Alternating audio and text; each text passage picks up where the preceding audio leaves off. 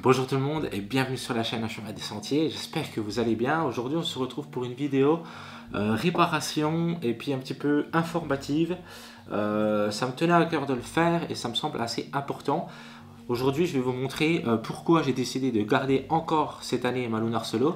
Pour ceux qui découvrent la chaîne, je vous récapitule un petit peu qu'est-ce que c'est la Lunar Solo et qu'est-ce que c'est que cette tente, combien de temps ça fait que je l'ai. Cette tente, je l'ai depuis 2020. Euh, voilà, 2020, j'ai fait des milliers et des milliers de kilomètres avec pour vous situer. Rien que l'année dernière, j'ai fait 3500 kilomètres avec la tente, avec cette tente-là. Euh, en 2022, euh, c'était à peu près 2000.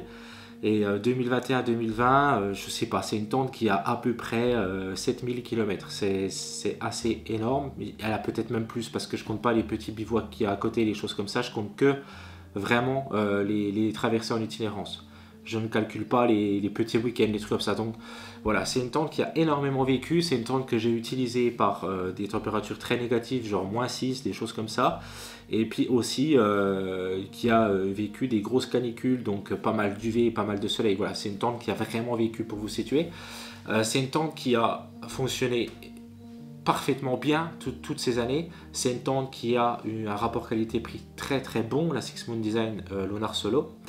Euh, à l'époque, je l'avais acheté, je crois, 250 euros. Elle fait 740 grammes. Elle est en cils poli. Elle est robuste. C'est une très très bonne tente. Et en fait, cette année, j'avais décidé au tout début, tout début, euh, de, 2024, voire fin 2023, je m'étais dit je peux pas repartir avec la Lunar Solo parce que 2024 j'ai eu pas mal de soucis, 2023 donc l'année dernière, pas mal de soucis avec la tente. Euh, dû, dû à son usure en fait, hein, c'est normal, on peut pas, euh, le matériel ça suce, c'est comme ça. Et euh, je m'étais dit, il faut que je la change, je peux pas refaire une année avec. Sur le GR30, le tour des lacs et des volcans d'Auvergne, euh, j'ai eu, pas mal d'infiltration d'eau, j'ai eu, des bivouacs vraiment vraiment galères où c'est que je devais me réveiller la nuit parce que j'avais de l'eau qui s'engouffrait dedans. Sur le GR58 j'ai eu des problèmes aussi. Voilà, pas mal de problèmes. Ce qui, je m'étais dit, bah, je vais changer de tente, je vais passer sur une tente plus haut de gamme, peut-être un truc euh, de chez Zipax et tout. Et puis après, j'ai vu les prix et je me suis dit, non, non, garde ta Solo, essaye de la réparer. Donc voilà un petit peu euh, le cheminement autour de cette tente pourquoi du coup j'ai décidé de la réparer. Donc il y a bah, l'histoire du budget, forcément. Il y a aussi l'histoire de la confiance. J'ai confiance en cette tante. Je sais ce qu'elle a subi, je sais de quoi elle est capable et je sais aussi de quoi elle n'est pas capable. Et ça aussi c'est important pour moi. Ça veut dire que je n'ai pas besoin de retester dans des conditions. Je sais sa limite. Euh, j'ai aussi dû, euh, par moment, euh, affronter des rafales de vent qu'elle n'a pas supportées. J'ai dû dormir sur un trottoir, des choses comme ça.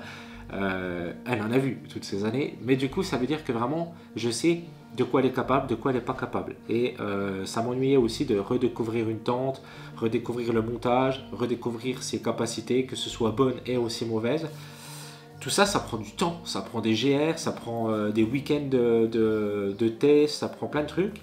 Et ça m'ennuyait vachement. Donc l'argent, la confiance en l'attente. Euh, et puis il y a aussi ce côté euh, écolo entre guillemets euh, de d'essayer de, réparer au lieu de racheter en fait. Ça me semble ça me semblait assez important. Et là je, pense que je peux la réparer. Je dis pas que je vais la réparer pour qu'elle dure encore 5 ans. Je pense que par rapport à ce que j'ai à faire cette année je pense qu'elle en est capable voilà. Je l'espère. On verra bien. De toute façon je vais la réparer. Euh, et puis après, ben, on ira sur le terrain ensemble pour, euh, ben, pour la tester avant de partir en GR, euh, avant de partir sur le chemin de Saint-Guilhem, sur Compostelle et sur, sur le tracé du mois de mai, sur la grande traversée des Alpes cet été, normalement.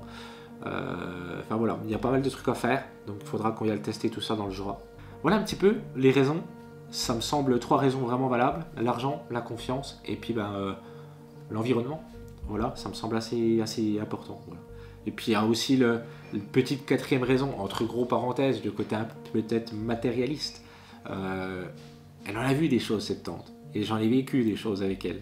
Et je me dis si elle peut aller faire encore une aventure cette année en 2024, ça serait cool. Moi je me dis que voilà, euh, autant la pousser jusqu'au bout, puis vivre encore cette grande traversée des Alpes ou euh, ce Saint-Guilhem, ces, ces, Compostelles, ces choses comme ça, encore une bonne année avec elle et euh, je serai super ravi. Quoi. Maintenant, je vous laisse avec la vidéo euh, dans mon jardin. Désolé pour les bruits à mon fils, tout ça, on est dimanche quand je tourne. Hein. Euh, je tourne le même jour que vous voyez la vidéo normalement. Euh, je vous laisse avec les réparations, les choses d'amélioration, les choses comme ça, les points, les points que j'ai vraiment à améliorer, à réparer. Bon visionnage. On se retrouve dans mon terrain. Alors désolé si vous entendez un petit peu des voitures, un petit peu des voisins, des enfants qui jouent, etc. Ok. Euh, je vais monter la tente et puis je vais vous montrer un petit peu ce que je compte réparer et aussi améliorer pour les futures aventures qui s'annoncent extraordinaires, très chères. Déjà, la Lunar Solo, elle se monte avec des bâtons de marche à 122. Hop, voilà. Donc on prépare le bâton. C'est parti. La bâche que j'ai mis en dessous, euh, c'est juste une bâche pour pas salir la tente que j'ai chez moi, mais c'est pas ce que je vais utiliser en rando. Ça y est, la tente elle est montée. Je vais vous montrer déjà les réparations que j'ai à faire et ensuite je vous montrerai les améliorations que je compte faire. Les réparations, les coutures, il faut que je les euh, recèle parce que ça je le fais tous les ans. Donc on peut dire que c'est euh, quelque chose à faire régulièrement euh, pour éviter d'être trempé la nuit. Pour le scellement des coutures, vous avez plusieurs solutions. Soit vous faites le produit vous-même avec du silicone, etc. Soit vous l'achetez. Euh, moi, je l'achète euh, parce que j'en suis très content et ça évite de faire une bourde. pour le prix que ça coûte, je vous montre le produit que je vais utiliser. pour le prix que ça coûte, au moins vous avez quelque chose qui est sûr à 100%, qui fonctionne bien. Moi, j'utilise ça depuis des années et à chaque fois, voilà, ça fait un petit coup de neuf à la tente, ça fait du bien. Euh, et puis avec euh, un tube, vous faites toute la Lunar Solo. Voilà. Ah, au niveau en fait de l'endroit où je vous montre ici là, j'ai pas mal de problèmes. Euh, j'ai eu pas mal de problèmes de, de, rentrée d'eau avec la Lunar parce que c'est un espèce de patch et puis c'est pas très très très bien bien cousu.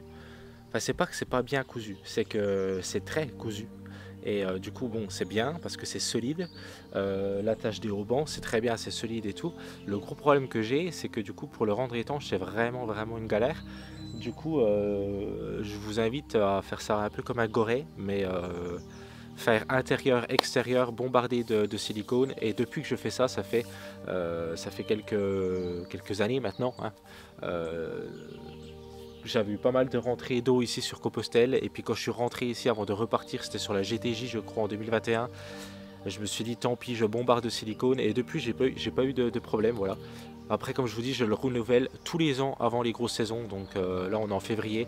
Généralement, je le fais en mars, tout ça. Mais là, vu que j'ai plus de taf à faire, je le fais avant. Les coutures aussi, où c'est que je bombarde vraiment bien. Euh, j'ai jamais eu de problème. Je préfère le faire, c'est là. À ce niveau-là. En fait, sur le haut ici de la tente, vous avez un espèce de, crochet pour pouvoir la suspendre, la faire sécher. Je, ne sais pas à quoi ça sert, honnêtement. Euh, moi, je ne l'aurais pas mis. Et le problème, c'est que ça, fait de la couture encore en plus. Et en plus de ça, c'est en plein sur le haut. Donc vraiment, euh, quand il pleut, c'est bah, tout de suite... voilà, c'est tout de suite, il y a pas mal de rentrées d'eau. Donc ici, je bombarde pas mal, voilà, comme vous voyez sur le haut. Tout ça, je vais le refaire. J'essaierai de vous en faire une vidéo, ok? Euh, soit sur Instagram, euh, soit sur le Vous pouvez me rejoindre sur Instagram, Loïc Brichot. J'essaierai de vous faire ça. Les coutures du bas ici sont mine de rien plutôt importantes aussi. Parce que euh, si ici ça s'accumule, en plus de la condensation qui va venir s'accumuler dans le, dans le coin en bas de la tente que j'ai remarqué, vous allez avoir la pluie qui va s'accumuler ici. Donc ici, n'hésitez pas à vraiment mettre une bonne couche de silicone sur les coutures. Moi je le fais à l'intérieur et à l'extérieur. C'est plus prudent et je vous invite à faire pareil. Ensuite, deuxième réparation que je vais venir faire, ça va être au niveau des sangles, où c'est que je mets les sardines. Euh, elles commencent un petit peu à se, à se briser, le nylon commence à se, à se séparer. Euh, et là, j'ai pas le choix de le changer. Ça va être euh, assez chiant à faire. Je vais vous montrer pourquoi j'ai pas le choix. Donc là, je sais pas si vous voyez bien correctement, mais en fait, là, toute la sangle qui tient la sardine est complètement, complètement bousillée. ça veut dire que je peux toujours mettre les sardines, mais c'est pas, voilà, hein, c'est plus très très solide. Donc du coup, je vais devoir euh, remettre un point, je vais devoir reprendre et puis venir recoudre à ce niveau-là. Voilà. Ça, j'ai pas le choix de les changer les sangles là. Après, si vraiment vraiment on est dans la merde, on peut toujours venir faire un nœud et puis, puis se débrouiller comme on peut. Hein. Mais, euh, mais bon, c'est pas le but de faire des nœuds tous les soirs en, arrivant au camp. Je préfère le réparer, euh, couper cette partie faire un point, voilà, ou carrément racheter une sangle, un point de couture ça va être euh, facile à faire et au moins je repartirai sur une base euh, solide et efficace. Autre réparation que je vais devoir venir euh, effectuer, c'est réparer tous les petits trous que j'ai comme ça dans la toile. Euh, j'en ai quelques-uns et en fait du coup bah, j'ai de l'eau qui passe à travers. Hein. Euh, je me demandais sur le GR30 pourquoi, bah, c'est à cause de ce, de ce, genre de petite merde là. Vous voyez c'est vraiment pas gros par rapport à mon, doigt mais quand il pleut bah, ça suffit largement à, bah, vous tremper. Pour ce, pour ce trou j'ai deux solutions. Soit je vais mettre un patch en silicone directement ici, soit je pense que je vais essayer de mettre directement en fait du, du silicone et puis pas de, de rajout de tissu. Autre truc que je vais devoir réparer, c'est le velcro ici. Euh, déjà, je vais devoir euh, revenir encore mettre du silicone parce que j'ai de l'eau qui passe à travers. C'est l'abside, c'est beaucoup moins grave. Le problème, c'est que du coup, je peux pas utiliser l'abside pour mettre mes habits euh, ou même mes chaussures parce que le matin, ça finit trempé. Donc ça, il faut que je répare, j'ai pas vraiment le choix. Et puis au niveau du velcro, ce que je vais faire, c'est que celui-là, je vais le laisser parce qu'en fait, il est cousu dans le tissu.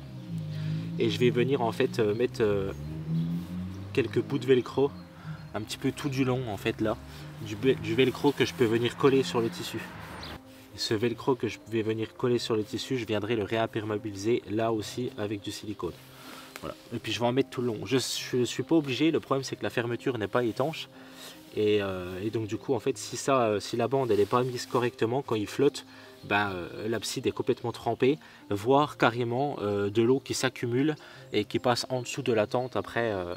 donc voilà, c'est très important de faire quand même bien l'étanchéité de l'abside pour pas avoir de problème. Et du coup ça passe aussi par la fermeture. Autre problème que je vais devoir réparer, c'est les trous dans la moustiquaire qu'il y a juste ici, c'est ce que je vous disais. Il passe en fait par là il passe par là, les mouches, les moustiques, et puis du coup s'accumule vers le haut, et puis ça devient insupportable euh, lors des bivouacs. Et quand c'est des moustiques, ben, euh, du coup, euh, voilà, hein, ça passe à travers, et puis du coup, ben, la moustiquaire ne sert plus à grand chose à part me rajouter du poids. Mais là, par contre, je ne sais vraiment pas comment je vais réparer la moustiquaire. J'ai un trou qui commence à se faire sur la gauche aussi. Je vais devoir refaire vraiment toute l'étanchéité ici. Ben, vous voyez, le, tapis, il est complètement à peine il y a une goutte d'eau, pam, on est trempé à l'intérieur quoi. Il est vraiment plus étanche du tout. Donc euh, pas le choix de rajouter du polycry en dessous. Là j'ai un trou dans la moustiquaire aussi, vous voyez, que je vais devoir refaire. Surtout à ce niveau-là, là, c'est les tiques qui passent par là. Et ça c'est bon, c'est plus chiant que les moustiques quoi. Ensuite niveau amélioration, c'est cette bouche d'aération là. Là c'est une vraie galère en fait, euh, c'est même très grave parce que ici j'ai tout le temps des problèmes, mais tout le temps. Le pire problème que j'ai eu c'était sur le GR58. Pourquoi et qu'est-ce qui se passe concrètement? Vous avez vu, on ne peut pas vraiment boucher cette aération. Et le gros problème qu'on a avec, euh, avec ce système-là, c'est que quand du coup il y a du vent et qu'il pleut, euh, la pluie vient taper en fait, ou alors elle passe carrément, pam, parce que regardez, si je vous mets du dessus, elle vient passer ici, et du coup elle vous tombe directement sur la gueule.